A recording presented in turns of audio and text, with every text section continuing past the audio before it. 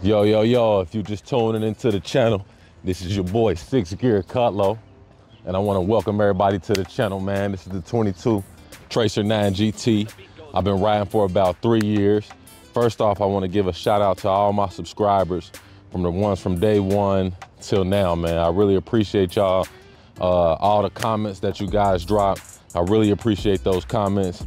That is what keeps me going. As you know, you know what I mean? We running a low to medium sized channel, so we don't got a whole bunch of traffic.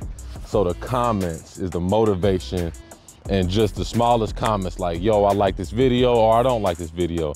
Those keep me motivated to keep making these videos. What I wanna do is uh, introduce you guys into a new segment that I'm running. It's gonna be called Boots on the Pavement. Now what this segment is gonna be about is basically me showing you guys some of the people that I've met through the past three years of riding. Um, One thing about having a motorcycle is once you get a motorcycle, you're immediately in this club of riders, whether you ride Harley, Harleys, sport touring, super sports, whatever it is that you're riding, you're immediately in a bikers club. And in this bikers club, I have met some amazing individuals. I've met people that can ride extremely well. I've met people that know damn near everything about motorcycles. Um, and I met people who share the same passion as I do. And with this Boots on the Pavement series, I wanna bring you guys close to some of those people that I've met, go to some of the shops in this area, uh, the people that have worked on my bike and who have taught me some of the knowledge about this stuff. One thing about these motorcycles, as you know, if you're on YouTube, it's like a bottomless pit of information and, and stuff that you can learn about the bike. And if you're passionate like I am, you want to learn as much and meet as many people and talk to as many people as you can. So on this first episode of Boots in the Pavement, we're gonna go to my favorite shop currently. This is my favorite shop. This is where I get 90% of the work done. Um, everything from putting frame sliders on my bike to tunes and ECUs and all that stuff. Um, if you've been watching this channel, you've seen this shop on my channel plenty of times. So without further ado, I'm gonna introduce you guys into some of the people up at Made uh, in Marietta, Georgia. I'll put the info somewhere on the screen so you guys can check them out. Um, one of the first people I'm gonna introduce you guys to is Opie Caylor. Now, Opie Caylor is pretty much the manager of Caylor Made. He opened the shop and uh, he basically makes sure all the operations and everything go well. So I'm gonna interview him, I'm gonna interview uh, Q, and I'm gonna interview B up at Caylor Made, but we're gonna start this episode with just the first interview on Boots in the Pavement, and this is gonna be with Opie Caylor at Caylor Made. I hope y'all enjoy it. Leave some comments, call up to Caylor Made, tell them you seen the video. Appreciate y'all rocking with me. It's your boy Six.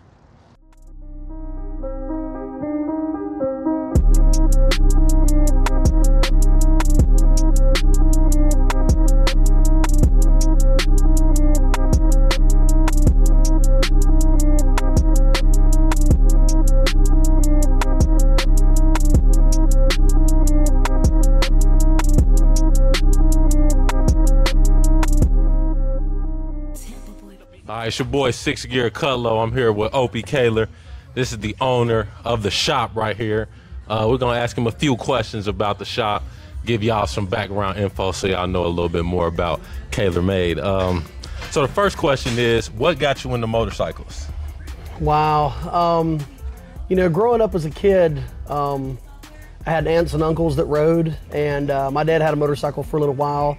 And, uh, you know, that's what you're supposed to do. You're supposed to follow in the footsteps of your peers, do what they did, and uh, it interested me. Um, I like twisting the throttle, I like going fast, and uh, just enjoyed riding and, and enjoyed the freedom, you know, that felt like. And uh, uh, it was great. It was just the whole experience was, was awesome. And every time I got on the bike, I just got off the bike uh, feeling a little bit better. You know, I was like, I Yep. want to keep doing that. Yep. But you took it past just straight up riding. You went to going all the way in on a track, professional racing, and really doing it as a career. What got you into that?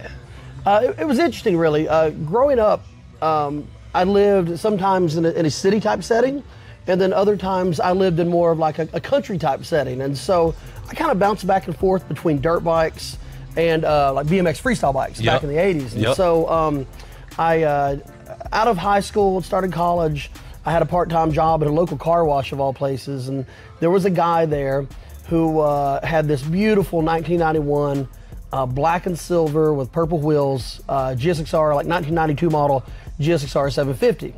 And uh, his name was LaRon, and LaRon was uh, telling us all he'd gone down to hang out at Myrtle and came back and was talking about how awesome that was. And I'm like, man, you know, girls dig motorcycles. Yeah, I yeah, need a yeah, bike, fact, you know. And fact. so uh, I started looking into bikes and uh, see what I could come up with and what I could afford and whatnot. And so I ended up getting a bike. I got my, my first real street bike was a, uh Honda Interceptor 700. And so um, one day a buddy of mine was like, hey man, let's ride up to Deals Gap, the Dragon, you know? And I'm like, what's that? So I go up there, and, and, and truth be told, I failed miserably at picking up girls on a motorcycle, that's for sure. But went up to the mountains, rode uh, Deals Gap, the 318 turns, nine and a half miles, and I just thought, wow, that's what this this thing is for. And so, in the early 90s, there, you know, the really the only way to get on the racetrack was to go racing. Um, but there was this new group uh, called Southeastern Sport Bike Association, and as far as I know, was the first track day organization that ever existed. And we're talking like '92. Uh, and so, um, met this guy named Stan Dilcher. He owned it, you know, ran the whole deal, and uh, did my first track day uh, at Talladega in Alabama. And then after I did that, that was probably 1990. I'm gonna say that was early '93. Once I went and did a track day, I'm like, wow, man. I mean, everything I wanted to go on fast, dragging your knee. Uh, you know, it's uh, there's corner workers at every corner. If you fall down and, and get beat up, you know, the people right there to help you. There's ambulances ready. If worst case scenario, there's a helicopter waiting. Yeah, you know. And I just thought, man, every way I want to push myself and my motorcycle on the racetrack is illegal. And instead of getting, or excuse me, is is, legal. And instead of getting chased, people are clapping for us. You know, go and all the way in. Yeah, and Yeah. just after that, man, I, I, I'd met a couple of guys along the way that kind of, you know, gave me some direction and gave me a clear path on how to how to do it, um, and how to do it right. And uh, I just started focusing on that. Nice, nice. And then that eventually led to, I'm guessing, Caylor Made. How did how did how did you come up with the idea of this is what I want to do? I want to have a shop, work on bikes. Um, coming from just riding to doing this, like, Sure. How did how did Caylor Made get started? How long it's been in business? So funny enough, I was actually I, I grew up as a mechanic uh, or in a mechanic's house with my dad. He was a, uh jet engine mechanic in Yep. the U.S. Navy, and so uh, I had a little dirt bike when I was a kid, a Honda XR75, and I ended up blowing it up. And so we didn't have the money to have the motor rebuilt or buy a new bike, and so um, we got a you know an owner's or a service manual for the bike, and he kind of guided me through it. And so I actually rebuilt my first engine at 13 on that little XR17 or XR75. Thirteen. 13 years old, I built my first motor. And so um, I've always been, I guess, mechanical. And I actually was was a certified Honda and Suzuki mechanic before I ever actually raced. And so um, I knew at some point, you know, you can't race forever. We get Right. older, um, you know, your reaction times, all that stuff falls off. So I needed a, you know, good plan B. I needed a backup plan. And so I went with racing as long as I could. I made it to the AMA. I raced five full years of uh, full-on AMA pro racing. And then uh, when I retired from that uh, in 2008, I decided, well, I still like racing. I still like going fast. I'm going to go club race, chase some money, chase some contingency winnings, and but at the same time, open up a place that I want to make my own. And so that that was how Caylor Made evolved. Was started off. It was me in a building. I've had years of experience both at a dealership, um, but there are things that the racetrack teach you that that no school is going to teach you as a mechanic. And Yeah. so I just tried to blend that and um, create a place where it's cool to hang out. We know what we're doing. Definitely. It's fun to fun to work on bikes, fun to be around bikes, and I love bikes and I love people. So it's just it was natural. Yeah, and that's one of the reasons that uh, that I really wanted to come to the shop was because you've had so much experience on the track with the real deal people who really do it. And the same thing, like you said, it's just some of that stuff that they can't teach you that that comes in handy when you're getting your bike fixed or whatever you're, you're getting done to it. So, yeah, yeah, I appreciate that. So, uh, so what are your hours of operation up here? So Tuesday through Friday, Tuesday through Friday. we're 10 till 6. Yep. Uh, Saturdays 10 till 2. Saturdays are typically just kind of a pick up and drop off day. We don't typically do a lot of work that day. Um, so we, we kind of cater that towards, you know, bikes coming in, bikes going out. Uh, a lot of that stuff takes place on Saturdays. Yep. Um, so you our- do do special events on Saturdays. Absolutely. Like That- the Dyno Day. Yes, absolutely. So, um, your last couple of years, we've done Dyno Days on specific Saturdays. We got one coming up, I think the first Saturday of May this year. Um, uh, I hope I didn't let the cat out of the bag with that, but uh, that's the plan right now. Uh, Dyno Day this year. Yeah, yeah. I think Dude Monk has said something about Okay. it uh, uh, Okay. already, so it's out there. And Yep. so looking forward to that. Uh, occasionally we'll gather up, uh, you know, a handful of customers who also do track days, and we'll go do a track day together, typically on a Saturday. Uh, we've actually got one coming up um, on March 29, no, March 30th. It's a Saturday, so the shop will be closed Saturday, March 30th, because we're all going to be out twisting that throttle. Now, the track. We love the track. Yep. But one of the inevitable things that happens at the track is people wreck. I've been up here, I've been coming to Caylor Made for th- about three years, and I've seen some bikes come in here that just look like they can't be saved, and I've seen you guys save them. So, typically, what is the process of taking a really wrecked bike and getting it back on? So we don't have everything we need under one roof. Right. But one of the beauties of, of being in Atlanta and, being in this area is that pretty much everything we need to do, I mean, from the most basic thing to the most difficult thing, um, we can handle within one hour of, of where we're at. So, typical worst case scenario is let's say somebody cartwheels a bike, thing goes flipping end to end. Um, the frame can sometimes get tucked and pushed in, and all of a sudden you'll see that your front wheel is closer to your bodywork or closer to your exhaust than it should be. So literally, the frame has been pushed inward by landing on the front tire with a lot of force. And so there's a company that has been around for many, many years. Um, you know, if that's your baby and you don't want to let it go, uh, this company can actually take, measure the bike out, plot all the points of what the geometry should be, and then through this measuring system, actually take, uh, find out where it's supposed to be based on where it was from the factory. And then I can actually heat the frame and straighten and pull the frame back out so that your rake and trail numbers are where they need to be. Mm, I didn't know that. Absolutely. So frames, you know, a frame, number one, is super expensive, um, and number two, um, you got to deal with the VIN number thing. If you replace a frame, you typically what you got to do is is transfer that number from the VIN number of the original bike over to the new frame, then cut the headstock off of that frame and send it back to the manufacturer. That is the correct way to do that. Manufacturers, Honda, Suzuki, Yamaha, Kawasaki, they do not want multiple VIN numbers. You know, uh, uh, have two different frames and two different VIN numbers on the street. So They- that's probably why it costs so much to do that. Absolutely. So, let's say you go crash the thing, it gets bent up, you bring it to Caylor-Made. Uh, we're going to do some basic measurements, some visual inspections, and at that point we can say, okay, we're going to tear this thing all the way down to the frame, motor, and wheels. Just make it a roller. And at that point, decide whether or not it needs frame straightening service, or maybe it's got some bent forks or twisted triples, and there, you know, ba- based on what we see there, we come up with a game plan how to move forward. Nice, nice, nice.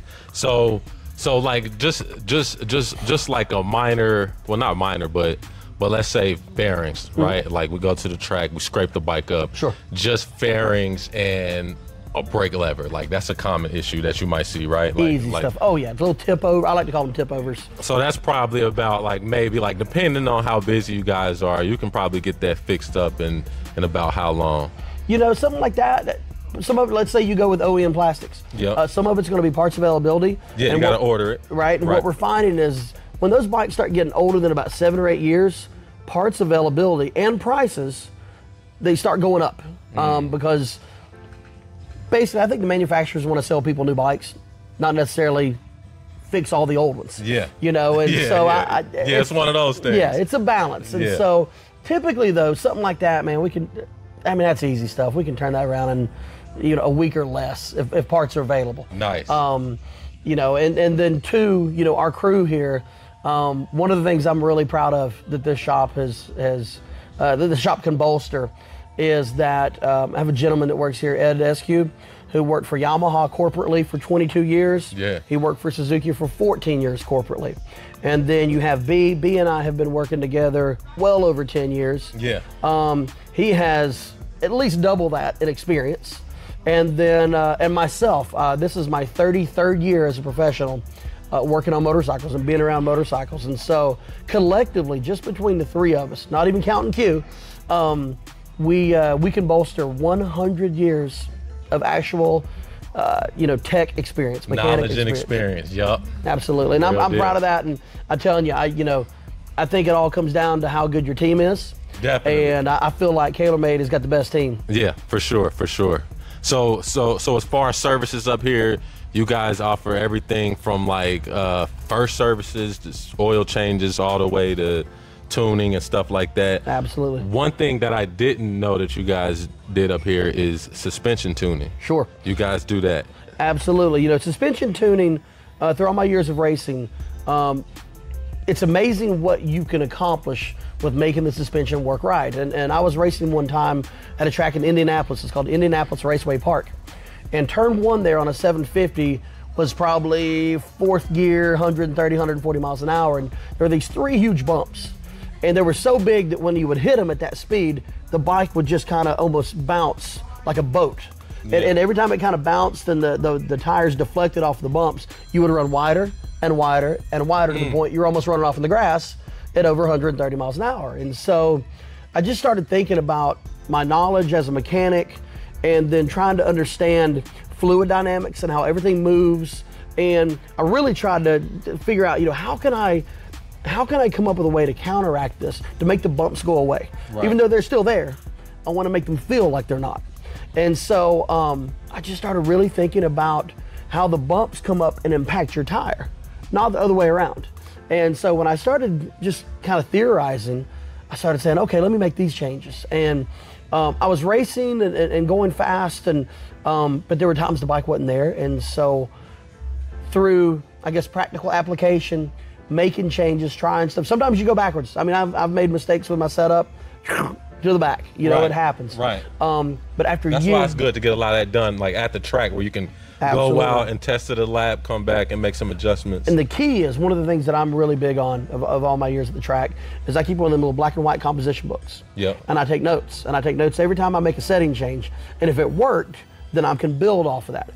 But if it didn't work, what that does is it provides me a walk path of the direction not to go. yeah, that's a that's a nice little And I base that lesson right there. I base that on lap times. And so once I see my lap times getting better, I'm like, okay, cool, things are working. Yeah. You know, and if your lap times start going slower, it's like, okay, I made a mistake.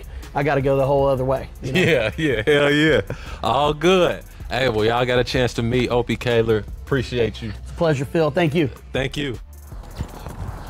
Hey, appreciate y'all checking that episode out. Once again, that's Opie Caylor up at May, Marietta, GA.